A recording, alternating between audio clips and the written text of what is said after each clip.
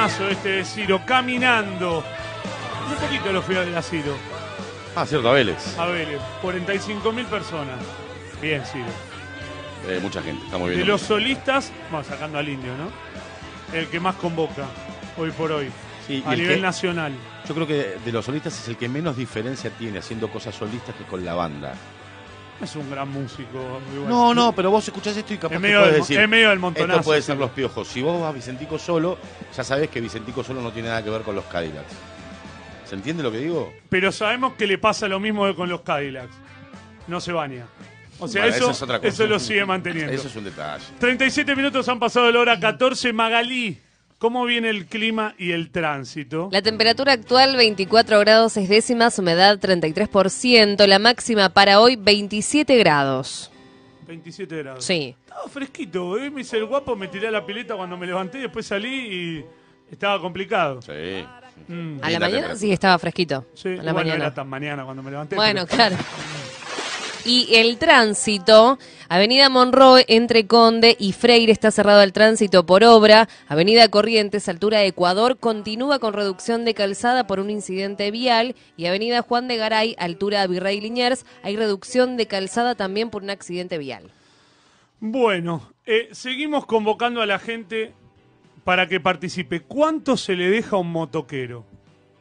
Porque al mozo sabemos que es el 10%. Si no más, alguno puede llegar a dejar más. Alguna laucha maicera puede llegar a dejar menos también. Ah, mínimo un 10. Mínimo un Diego. ¿Cuánto se le deja a un motoquero que viene a traerte la pizza y vale 150 pesos el pedido? Para que la gente opine en base a eso. Si no, depende cuánto sea. No.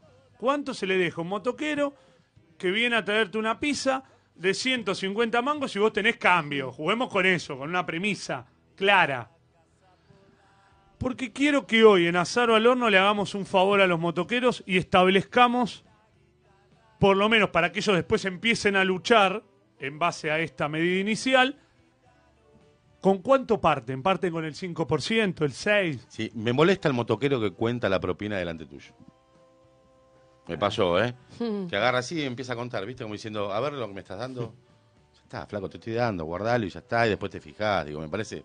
Vos- vos- Ese vos- es, un, mozo- ese es un motoquero desafiante. Ese, ese ya no me gusta. A mí lo único que me molesta es algunos mozos del interior que te traen y te dicen... Le decís, bueno, ¿qué hay para comer? La milanesa 45. el- Te pregunté cuánto salía, te pregunté qué hay para comer. No, bueno, está. No, pero los, los gnocchi de 43 A mí están me gusta buenos. eso. No me Yo lo digas compro. A mí me sale. gusta que me Te diga. pregunté que estaba bueno, no me, no me importa cuánto A mí sale. sí me importa. A mí decímelo. Pero no es no me importa cuánto sale porque soy pudiente. No me importa cuánto sale porque vine a un restaurante, me senté. Dame la carta de última. Yo te Capaz que digo no tienen está bueno. carta. Capaz que no tienen Pero carta. no me digas, pero te lo dicen ellos. No, la milanesa de 43 está bárbara. Pero escúchame, eh, volviendo al motoquero. ¿influye o no influye cuánto tardó el pedido?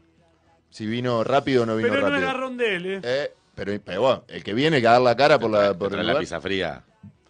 Pediste la Ah, pizza, te yo- tardó media hora, 40 minutos una cosa, te tardó hora y media. Te ¿Me viene- vas a dar lo mismo de Por y media propina? le doy 10 centavos. Escuchame, te viene inclinada la pizza y tenés toda la musarela que hay en un Claro. costado de la caja y del otro Yo lado. pre- eso, eso es más sancionable, No, eso motoquerísticamente Pero eso, hablando. eso no lo, eso no lo sabes hasta que no abrí la pizza. Claro, eso es verdad. Lo otro, el tiempo sí lo sabes. Sí. Cuando te queda media pizza casi de cancha, no, sí, flaco. No. Una cosa que me molesta también son las pizzerías que te mandan la pizza con la pizza en el cartón. Que no le ponen nada abajo. Papelín, No, ¿no? claro, ni un Ponele papelito. felpa. Sí, sí, sí. Claro. A mí eso no me importa. Ah, a mí sí. Bueno, ¿cuánto se le deja al pibe del delivery? Vías de comunicación. 11 23 22 9189. Bueno, vamos a meternos con el invitado. Es Esteban Jiménez, es profesor de lengua y literatura lingüística. Bien, alguien que sabe por fin en este programa. No, y literatura, lingüística y lexicólogo. Hola, mío. Un grande el profe. Y nosotros hablando Ah, de esto así. ¿Y qué hacemos nosotros acá? Un grande el profe. Espero que haya escuchado el primer, primer bloque. ¿Sabes lo importante que es para nosotros que haya un tipo que haya leído? para compensar un poco, ¿viste? Para, para hacer contrapeso un poquito. Y actualmente, buenas tardes. Buenas tardes. Actualmente estoy dando clases en Éter a estudiantes de periodismo deportivo, Ay. de manera que los tengo. Lo siento mucho. Ellos ya saben que yo le retiro el título al que diga meñiscos. Claro. Que digan meñiscos, habría que sacarle el título. decir. Claro, y, hay, menisco y hay y consagrados que están en el aire ahora diciendo meñiscos. ¿eh? Ojo. Es menisco. Menisco, menisco con N. Claro, claro, es singular. Y los que dicen gemelo No, con derecho. N, Con Con N, N, no con N, no N. con No, N. es con N. Es Con N, no con N. Meniscos. Es menisco. Hay gente que dice Ah, meñisco. Yo digo menisco con N. Y no, ¿Vos está decís mal. menisco, en serio? Da-. Sácale el título. Devolvé el título. Igual tampoco soy deportólogo. No, con N, con N, con N. Meniscos. Meniscos. Meniscos. Bueno, y después están los que dicen gemelo derecho. No, no, no. El gemelo de la pierna derecha. Claro, no claro. tenemos un gemelo izquierdo y un gemelo Bueno, derecho. y los que dicen el, este, el trasero, le duele, el- está- el- eh, tiene dolorido el trasero del, del. O sea, en vez de decir, como decís vos, de la pierna derecha o del el muslo, lo que, Sí. directamente omiten y de- de- designan por el adjetivo. Eh, hay otro músculo también, como es el posterior. El posterior. Sí. El posterior, ¿qué es? El músculo posterior. Y ya se sobreentiende. ¿Está bien dicho las espaldas que se usa mucho? Se usa eh, espaldas, tijeras y pantalones, aceptan los dos, las dos formas. Me suena feo siempre singular, el espaldas, pantalón, eh. los pantalones, la espalda, las espaldas. Eh, no, hay, no hay problema con eso. Bueno, profe, eh, nosotros la semana pasada, creo que exactamente el viernes pasado, decidimos regalarle a la sociedad la culminación de mitos. Queremos terminar con algunos mitos. No nos salió bien la otra vez. Obviamente que no salió Pero hoy queremos que sí. A ver, Y además, yo decía el otro día, profe, se hacen cantidades de programas de radio, de tele, que no dejan nada. Por ejemplo, este. Y quiero regalarle durante 20 minutos, media hora, lo que fuera, a la gente que hoy termine de escuchar a Saro al horno, después, bueno, escuchen a Mura y todo eso, y puedan quedarse con algo. Viste que a veces nosotros repetimos, repetimos, repetimos, decimos frases que no tenemos ni idea de dónde vienen. Por ejemplo, hablar por boca de ganso. ¿De dónde carajo viene? Hablan los gansos. ¿Quién escuchó hablar un ganso? Estaba muy drogado un tipo y escuchó hablar un ganso. ¿De No. dónde viene hablar por boca de ganso? no tiene que ver con el, el ave palmípeda el tema. Ah, ¿no? En la Edad Media española, en la Edad Media española, los, eh, los maestros eh, iban, o por supuesto vivían en palacio, y educaban a los hijos de los, de los, soberanos, de los nobles. Entonces eh, le daban clases en el palacio mismo, lógicamente, habían, estaban contratados para eso. Entonces lo- los, los, los docentes estos eran llamados ayos o gansos. ¿Pero por qué gansos? Porque solían recorrer las, las instalaciones del palacio, los patios interiores, eh, ima- y, y- y ubíquense en la Edad Media Española, eh, años 1200, 1300, 1400. eh, caminaban recitando la lección y atrás los chicos iban repitiendo Mm, y caminando detrás como, como, caminaban, como caminan los gansos con las crías. Entonces, lo de ganso está tomado de la imitación del hombre de caminar detrás del, del líder. Y lo de repetir por boca de ganso es porque repetían por, por lo que decía el, el ayo, el monitor, el ganso. Entonces, eso era repetir por boca de ganso, era, ¿eh? era la lección. El profe la tiene, El profe la tiene atada. el Pero el profe profe. es una institución en los medios, aparte. digo, yo recuerdo de verlo de hace Sí, fácil años. 25, 30 años, ¿no? Sí, no, sí. ¿no? Sí. Eh, en aquella época con Sofovich. Eh, yo había empezado a hacer radio con Borocotó Junior y después este, hice televisión. eh, 80 y pico puede ser, profe. Sí, eh, es 83 empecé. Ahí Ah, está. justo ese año, ¿no? Eh, y Gran después- año 83, profe. Gran año. Y, de- Gran año. y después este y pasé a televisión y hasta que eh, Nací. me encontré con claro, porque a veces me dicen cómo estás en los medios, porque yo en los 80 era estaba en la discoteca, trabajaba de musicalizador. ¡Apa! El DJ. acá. Claro, era- buena claro, la famosa Horizonte, en la primera etapa de Sí. Horizonte, eh, era- éramos varios que estábamos, que eh, colaboramos a, a la, a la- a la formación de esa inolvidable FM. A, propósito, también trabajé en la inolvidable, después la de Moyano. Y esa frase es, y aquí en la gran ciudad una nueva hora comienza, Claro, que con, Ma- instalaron con- ustedes. con Martín me, me, voy- me, voy- me encuentro dos por tres y él la usa todavía, pero fue una frase de él esa, por Ah. supuesto. Bueno, Y en la, esa era la FM. Y en la AM estaba Minguito, con Peregrino Salcedo, Riverito, Alberto Muni y demás. Entonces, en ese encuentro que tenemos los hombres, esas charlas de mingitorio, Sí. que nos solemos Mm, encontrar, ¿no? Le dije una. Ah, ahí un poquito. Si pispeás y ves a cuántas Claro. naftalina le pegas, ¿no? Le- Exacto. Entonces, un día le digo a, Peregrino, le digo, mira que ustedes lo gastan, lo cargan a le digo, con el tema de algunas palabras. Pero mira que algunas de las que él dice están bien dichas. Entonces, el negro abrió los ojos así y me dijo, ¿cómo cuál? Y le digo, mira, eh, por ejemplo, orgia, que él dice orgia y, ustedes lo cargan que es orgía, es, una palabra de doble acentuación. En, ese, en esa época todavía se podía decir orgia u orgía. Y lo mismo con furúnculo o forúnculo. Entonces el negro se queda pensando y me dice, ¿y vos te animás a, hacer, a decir esto eh, con un libreto? Eh, eh, así lo, así lo, lo cargamos a Riverito, que era el que lo corregía. Sí, le digo, a mí no me costaba nada. Y hacía como que estaba en una redacción. Y un, claro, en, en- en la- en el programa de radio. Entonces un día me, dice, me escribe una, una línea y me dice, bueno, venía a hacer. Entonces lo hicimos. Lo- yo fui a, a favor de Mingo. Lo gastaron a Riverito como que estaba mal, lo que él decía, y quedó. Hicimos tres o cuatro episodios más. Y un día me comentan los chicos de, de la producción, me dicen, mira, este, mm, va- em, eh, Marín lo lleva a Mingo a la tele. Fernando Marín era el productor. Entonces, y me dicen, y va a haber una, una escuelita que vas a dar. Yo no sabía, no tenía ni idea, no me había hablado nadie de eso. Bueno, efectivamente, a las dos semanas me dicen, me dan el libreto, toma, estudiátelo, que este es el primer libreto, que es el, el que se ve ahora, el famoso de magnético textual, viste, que me dice Mingo, que yo. Bueno. Ah, Esa fue mi entrada, digamos, yo había entrado a los medios, pero de, de esta manera era, yo, yo y, y paralelamente daba clases siempre yo. Eso era en Canal que- 11. Claro, de manera que la docencia nunca la dejé y estuve en los medios, lo que me permitió ser compañero de eh, Sueiro, Badía, eh, Lago, Araujo, eran todos, digamos, compañeros míos. Por eso me, me- fue más fácil la introducción después. Profe, sigo. Mucho ruido y pocas nueces. Bueno, eso, eh, si vos lo tomás literalmente, Sí. es una, este, la idea es muy clara. Así, Cuando eh, se- ruido, de romper rompe las nueces, pero nueces. eran pocas. Pero está tomado de una obra de Shakespeare, Much Ado About Nothing, que es que se tradujo como mucho ruido y pocas nueces. La frase pertenece al gran William, Ah, ¿eh? mire, que es una obra de teatro. Qué bien. eh. Metimos dos goles ya. Al ángulo. ¿Quién Escuchen los feriados, que va bien este ¿Quién programa. te ha visto y quién te ve? ¿De dónde viene eso? Eso está tomado de un de un personaje, de un alcalde de una ciudad española que a- hablaba pestes de, de los revolucionarios que había en, en una época, no, no recuerdo en qué época, digamos en qué proceso histórico, siempre en la Edad Media española, ¿no? Y entonces este el tipo hablaba pestes de, del- de los revolucionarios comandados por el jefe, por el líder.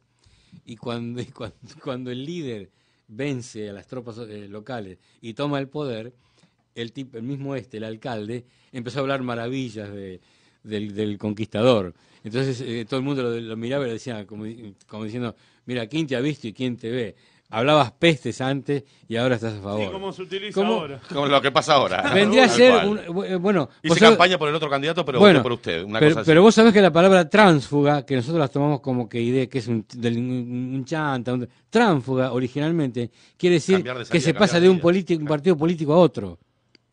Un- una, una persona que se cambia de, par- de partido político es un tránsfuga, lisa y llanamente, no es un insulto, es una definición, una descripción. Entonces se le dice tránsfuga a esa, a esa gente. Se armó la gorda. Esto también, por supuesto, la Edad Media Española, cuando que los abolicionistas de la Constitución querían eliminarla, entonces eh, los reyes habían dispuesto que mm, este, no se em, no se podía hablar, no se la podía mencionar a la Constitución. Entonces no se podía usar la palabra Constitución. Entonces, los tipos en lugar de utilizar la Constitución, este, comenzaron a hablar de la revuelta, la, se venía una revuelta, se venía una revuelta. Y efectivamente, en un momento, comenzaron a decir la palabra la gorda como, como, como idea de revolución, como, como golpe. Eh, como ellos no podían abiertamente decir que estaban contra la Constitución, comenzaron a utilizar esa frase eh, encriptada que sería el decir, este, se armó la gorda, se armó la revolución, pero no podían utilizar la palabra revolución porque realmente estaba prohibido por el gobierno. Claro, es, es como la Pepa con la Constitución también, el, el Viva la Pepa, digo que se usaba la palabra Viva también la como- Pepa, este, también no podían utilizar la palabra constitución. Claro. Y, y decían, eh, como había sido sancionada el día de San José, en el 18 de marzo creo que es, el femenino de José es Josefa. Mm. Y, el, y, el, el- el- Pepa. y el hipocorístico de José es Pepe. ¿Cómo se dice el qué? ¿Qué dijo ahí? El hipocorístico, el diminutivo cariñoso. El hipocorístico. Fabi, Pancho, el- ¿Eso cómo se Lola, dice? son, hipoco- hipocorístico. hipocorístico con H. ¿Cuál ¿Qué es el tuyo? ¿Qué quiere decir en, Fla. En griego? Quiere decir eh, No, hablar como los chicos. Eh, porque por eso, porque los chicos, viste, dicen esas palabritas cortitas. Titi, eh, el pipi, romagnoli, Fotis, es un ahora. hipocorístico. A ver, Que no es apócope, que sería achicar la palabra. Flavio, Fla es apócope. y claro. el otro sería Flavi. Flavius. Flavi sería un hipocorístico. hipocorístico, Ahí claro. está. Le metieron la mula. ¿Por qué mulero? ¿Por qué mula? ¿De Ah, dónde porque viene? mm, eh, eso tiene que ver con cuando en las rutas controlaban la carga que llevaban los, los carros tirados por mula, por supuesto, y comenzaron las primeras balanzas es ahí y se medía, se pesaba. Eran como básculas, ¿no? Claro. Como los camiones ahora. Claro, como los camiones. Bueno, entonces eh, había que eh, apoyar este el, el carro, la, la carga, en esa parte de la báscula. Entonces apoyaban también la, La mula, mula. para que pesara en más. el peso. Y alteraban el peso. Entonces le metían la mula. Qué grande y de ahí profe. iba lo de mulero, Lo bien que juega el, El profe. profe es un jugador tremendo. ¿De qué cuadro sos, profe? de la banda. De Racing, son una banda.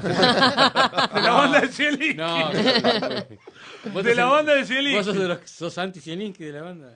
Yo lo que creo que eh, en el fútbol están los cagones, que son el 90%, y el 10% los que asumen que jugar a la pelota significa tratar de hacer goles, ¿viste? No solo Divertirse un defenderte. poco más. Dif- Divertirte, Sí, proponer un poco más. Tampoco caer en el ángel capismo de que si un Sí. jugador tiene los pies redondos lo quieras hacer salir jugando. Claro. Si tiene los pies redondos que la patee lo más lejos posible. Está bien. Pero si vos más o menos tenés buen material, no podés ser un técnico tan cagón como para mí es, por ejemplo, como hay el Mucho. 90%. Sí, el 90%. ¿eh? Zielinski, eh, el de San Lorenzo es un cagón. Eh, ¿Cuál más? Aguirre, Eh, decís vos. el de- es un cagón. ¿Cuál No más? Caruso es un cagón. eh, de Felipe es un cagón. Ah, pero cagón en el sentido de, a ver, que se entienda, no es que estoy diciendo Guillermo, que no son guapos. De no arriesgar mucho. Son cagones. No le, Sí, demasiado precavidos, tienen digamos. mucho miedo a perder. Miedo Sí, a perder. Entonces, como tienen miedo a perder, salen a no perder. Exacto. No salen a ganar, salen a no perder. Te entiendo. Pero bueno, no importa, igual. Ya está. Eh, Igual hicieron tres. ¿Cómo? No, no. ¿Quién me hizo tres? No. Ustedes hicieron. ¿A quién? ¿A Independiente? A un partido. Se van a agarrar ese partido durante todo el año. Pero le hizo tres a. Por Dios. a- tampoco es que le hizo tres a. Bueno, Milito no es cagón y mirá cómo Pero terminó. porque también, ¿sabes lo que pasa, Pero Efra? Que a veces los jugadores también se rebelan. Ah, sí. Y dicen, en la semana antes del partido de Racing Independiente, salió el capitán de Racing, Lisandro López, dijo, no podemos jugar como jugamos, tenemos que jugar más adelante. Y ahí le bajó un discurso, mirá, Selique, que te limpiamos como un ajo. Y Racing salió y jugó a algo contra Independiente. Jugó muy bien. Jugó a algo. Porque a veces no juega a nada. Porque vos me decís, este equipo juega a defenderse, pero no se defiende bien. Claro, o sea, claro. no está jugando a defenderse, está, está viendo qué onda. Está tratando de que termine el partido. Como si estuviesen por salir de la prisión, ¿viste? Los tipos están queriendo que termine el partido cuando todos los demás seres humanos nos encantaría que ese partido lo estuviésemos jugando nosotros ahí. Y ellos quieren que el partido termine. Para empatar. ¿Viste? Para empatar y listo, nos vamos a casa. Pasamos inadvertido. Pero es una historia que. ¿Querés no- que te cuente? Te voy a contar tres cosas de dichos, Sí. a vos que te interesa. Hay tres tipos de dichos. Los que están mal interpretados, porque lo decimos mal, por una cuestión de interpretación de palabras. Por ejemplo, nu- la gente dice nunca es tarde cuando la dicha es buena, Sí. obviamente. Y yo pregunto, ¿la dicha puede ser mala? Es redundante. No, exacto, está mal. Nunca es tarde cuando la dicha llega. Ese es el, el refrán original. Perfecto. Es un error de interpretación. Después Repetilo, profe, Nunca es tarde, se dice nunca es tarde cuando la dicha llega. Pero puede No haber buena y mala dicha, ¿o no? No, dicha es buena, no La puede dicha ser es mala. buena. Ah, dicha no es sinónimo de suerte. No, no, no. Bien. Es, es la, fel- digamos, la felicidad. Ese es uno. Están los que mm, tienen una segunda parte y la gente no la conoce, no la dice porque no la conoce. Cada loco con su tema, lo dice todo el mundo. Contra gusto. Cada loco con su tema. ¿Y la segunda parte cuál es? Contra gusto no hay disputa. Y con, y con y cada lobo por su senda. Ah, Ah, Cada loco con su tema. Y cada lobo con su Uh, ¿Y con por esto voy a qué? ganar como loco. ¿Y por qué? Porque la gente no, perdió el uso del segundo y queda la primera parte. Adelante con los faroles. Bien. Que atrás vienen los cargadores. Porque en las procesiones, primero van los faroles y atrás vienen los tipos que cargan Claro. al santo o la, im- o la imagen de la Virgen. Y después están los mal traducidos, que esto es más grave todavía. Mal traducidos. No hay que darles margaritas a los chanchos. Sí, dice un refrán. Pregunta, ¿cuál es el problema en darle margaritas a los chanchos, salvo que los indigeste porque eh, le caen mal? sí, nada, No. porque el chancho por lo general come de todo. Bueno, porque en, en- en el original es Margar, eh, eh, Margaron ante Porcus. Y Margaron es griego, es perla. Por eso la margarina tiene color perlado, lógico, ¿no? Margaron, eh, no darles perlas a los chanchos. Sí, ahí es otra cosa. Sí. Ahí es otro, otro gasto. Este se prende un pucho adentro de una garrafa. ¿eh? Profe, sabe Eh, todo. Envuelve un triciclo en un minuto. Sí. Total, ah, yo recuerdo algo que él hacía en un momento que le daba textos a los participantes. Ah, con que Gerardo, la noche del con domingo. Sofovich, y, y le daba una frase que vos decís, aparentemente está bien. Y tenía muchos errores, mucho de queísmo. Sí. eh, y a veces ¿no? no, errores muy comunes y en a los que veces tenía todos. y a veces tenía un solo error. Claro. Y la gente Profe, marcaba cuatro peloteanos cinco. un poco, hacenos un par de preguntas sí, sí, a es nosotros. buenísimo, es buenísimo. eso. ¿De qué? Pregunta y nada, somos periodistas, tendríamos que saber algún tipo de, de, de pregunta que usted Bueno. nos haga de taquito y capaz que le pifiamos. A ver, A todos, ¿eh? eh, Empezá por No, la que pará. trabaja con ¿Por Mura. qué? ¿Qué? Tira- El no, que sabe que tira y levanta la mano el que sabe. Empezá con la Está que no bien. es de este grupo. No, con hacela- Maga. no, ¡Qué feo! ¿Cómo ¡Qué le gusta feo! exponer, eh? ¿Cómo le gusta ¡Qué exponer? feo que sos! No, yo no voy a jugar. No, voy a, no voy a aprender tu juego, Flavio. Primero las Oh. damas. Ya no, te es, es general a todos. Bueno, Eh, se, profe. eh, ¿Se puede decir llovieron 40 milímetros? No, claramente no, porque lo está preguntando. Entonces vamos a pensar cómo se dice. ¿Llovieron 40 milímetros? No, no. ¿Y cómo se dice? Y producto de la lluvia, Cayeron. Bueno, puede ser cayeno. Pero se dice llovió. ¿Llovió un milímetro o llovió 40 milímetros? Porque el verbo llover es impersonal. Claro. Es como el verbo haber. Hubieron, ah, no, en, la, en la fecha hubo un solo gol. Y hubieron muchos goles. No, hubo un gol, Hubo un gol. hubo muchos goles. Claro. Eso Bien. de, de cajón. Anota para que- para el clima. Bien, bien, ¿eh? vamos con la segunda. Muy bien. Eh, ¿Cómo es correcto decir eh, desavenencias o desaveniencias? Rápidamente uno diría desaveniencias, pero seguro que está Sí. mal. Está mal. No, desavenencia. Claro. Pero me sonó como el dijiste. Vos sos el, eras, el, eras el de la clase que cuando todos decían eso atrás decían, no, profe, no. Último, cuando ya estaba todo No, claro. puede ser que hoy estoy en un día en el que necesito capaz que un tiempito más para parar la pelota. Pero no, no, no, no, no. Vos sos el que pipea la computadora de Efra a veces y decís cómo que que Candy no, estoy buscando nada, eh, mirá, está el Facebook abierto, no Bien. estoy buscando nada. Desavenencias. Desavenencias, Cindy Tongar. Eh, Qué bien que juega. campeonar, ¿es correcto? No, está mal. No. Me parece que es correcto.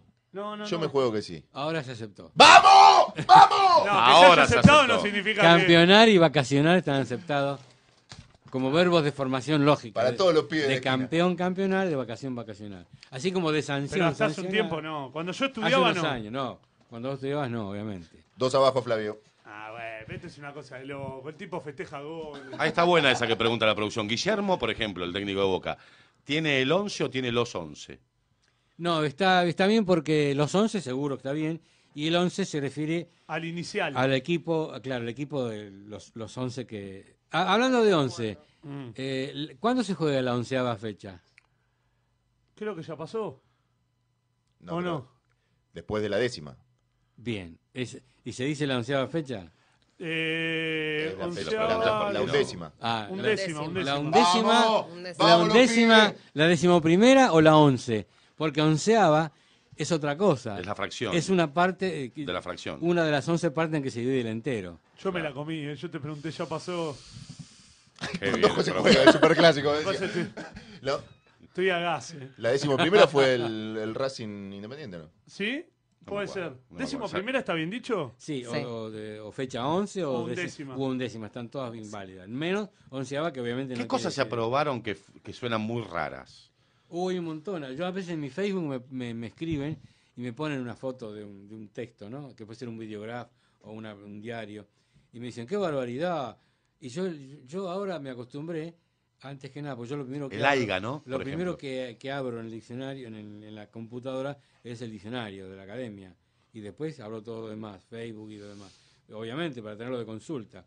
Y me habían puesto un- un- una nota que decía, em, van a peatonalizar la calle tal, ¿no? Y me, el tipo, de que- mi contacto, qué barbaridad. Entonces me fijé, peatonalizar está aceptado. Eh, adapta- adaptar para el tránsito de peatones una, una, una arteria. De manera que esa palabra es, es correcta y hay que tener cuidado porque la academia antes ya había que esperar varios años para que saliera el diccionario. Hoy en día, como es todo online, te arreglaron una palabra, ahora son, por ejemplo, ahora que son las 3, allá en España son las 8 de la noche. Sí. Capaz que a las, a las 4 o 5 de la tarde ellos hicieron una- un arreglo y vos entrás y te encontrás con el artículo enmendado. Hay que tener cuidado con eso. Y después hay algo que cometemos, un error que cometemos frecuentemente, que es fuertísimo. Y es fortísimo, Fortísimo. ¿no? Ese es el fortísimo es el superlativo culto y fuertísimo es el superlativo común que la gente puede utilizar. Se puede Ah, ¿se utilizar. puede Ah, ¿se utilizar puede fortísimo? utilizar? Sí, sí, sí, fortísimo y fuertísimo. A mí me suena siempre muy mal el- el- la palabra planear. Cuando uno se Ah, cuando uno habla de planificar, exactamente. Yo siempre eh, digo trato de no Sí, usarla sí, porque, me, me gusta más es- planificar. planear es lo que no planear de, los de- de volar. Sí, es Y- más, pero se es puede más, utilizar. más adecuado. No sé, porque si- al, al tener un- una vigencia este, la palabra planear con otro sentido y existir planificar, siempre te va a convenir usar Planificar. planificar. Es lo mismo que pasa con, con Pizarro. ¿Vieron lo que pasó con Pizarro?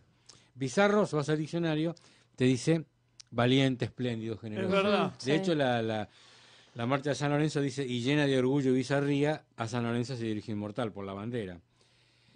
Eh, entonces Bizarro se dejó de utilizar con ese sentido. Sí. Y quedó el espacio, digamos, el nicho vacío. Y del italiano y del francés viene el, el bizarro o bizarro, que quiere decir raro, estrafalario, Claro. extravagante. Y la gente comienza a utilizarlo porque el otro bizarro no se usaba acá. Ajá. Entonces ocupó ese lugar el bizarro extranjero. Que yo Eh, calculo que en poco tiempo va a ser aceptado, va a ser Ah, no incorporado. está aceptado No, todavía. todavía oficialmente no. ¿Te quedas unos minutitos más, profe? Bueno, favor. sí. Vamos a hacer una, una tanda cortita y ya volvemos con el profe, cerramos y lo liberamos que hoy es feriado y seguramente tiene ganas de ir a descansar. ¿De qué barrio sos, profe? San Cristóbal. Ah, acá, al lado de Parque Patricio. Estamos Sí, cerca, sí, yo sí. vivo en San Telmo. Claro. ¿En qué- en qué yo parte estoy, estás? Yo estoy para que te ubiques eh, Independencia de Entre Ríos. Sí, obvio. Está muy ahí bien en esa ahí. zona. Hay Me un par de barcitos lindos por ahí. Sí. Quinzao, por ejemplo. claro. Dale. La información que necesitas la encontrás en Radio Latina. Radio Latina. Durante toda la primavera.